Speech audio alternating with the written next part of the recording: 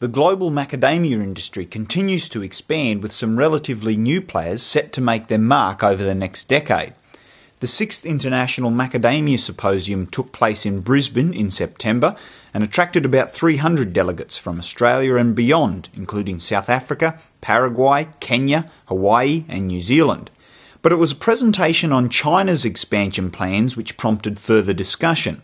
China's largest macadamia growing province, Yunnan, aims to have 50,000 hectares under macadamia trees by 2020, or about 15 million trees. Further down the line, it estimates it will produce 150,000 tonnes nut in shell by about 2025.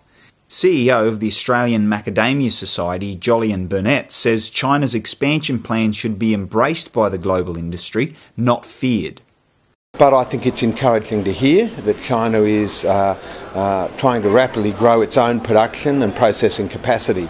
Um, there's no doubt that the Chinese market has huge potential. They're a, they're a culture that knows nuts, that uh, snacks on nuts, that cooks with nuts, they just don't know macadamias yet. Yeah. So if we can get them aware of the macadamia and its taste and its versatility, I am very confident that that market will grow, and I'm very confident that it'll be able to absorb their own production uh, and yet continue to be a net importer.